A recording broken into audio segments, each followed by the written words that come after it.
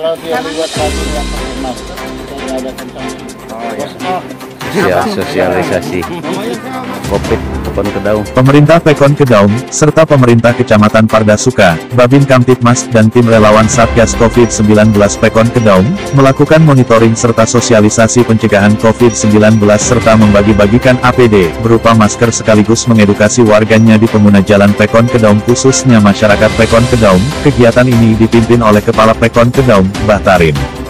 Didampingi oleh pemerintah Kecamatan Pardasuka, serta Babin Kamtipmas dan tim gugus tugas COVID-19 Pekon Kedaung, Senin, tanggal 18 Mei tahun 2021. Hasil dari kegiatan ini masih banyak warga masyarakat yang belum menggunakan masker, dan pelanggar prokes diberikan sanksi supaya ada titik cerah dan membuka kesadaran masyarakat akan bahaya virus COVID-19. Tim gugus tugas COVID-19 juga mengimbau agar setiap keluar dari rumah selalu menggunakan masker dan menjaga jarak demi memutus rantai penyebaran COVID-19.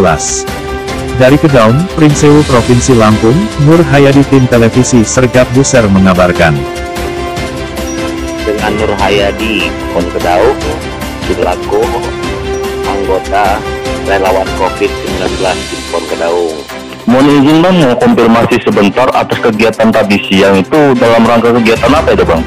Oh, tadi itu kami mengadakan sosialisasi acara COVID-19, pembagian masker dan prokes dan lain-lain itu tadi. Mm-mm, dalam rangka kegiatan itu dihadiri oleh pihak mana aja bang?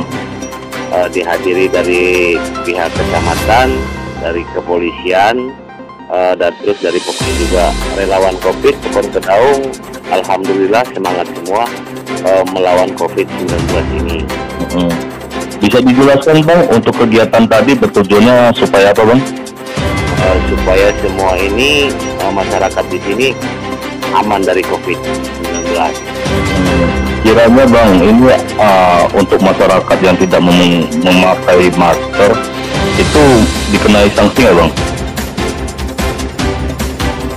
Eh, dikenai sanksinya itu tadi eh, pertama sanksi itu ada empat pilihan yang pertama sanksinya disuruh menghafal Pancasila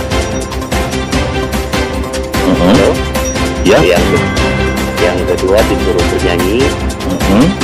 yang ketiga sanksinya disuruh joget yang keempat disuruh push up Mhm. cuman yang cuman yang kami pakai tadi itu eh, yang pertama push up yang kedua menghafalkan Pancasila Mhm.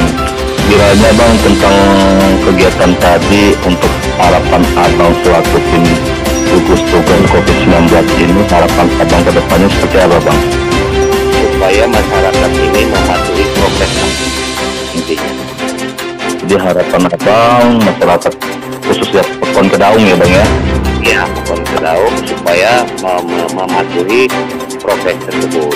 Hmm, ya, terima kasih banyak nih bang atas informasinya bang. oke siap siap siap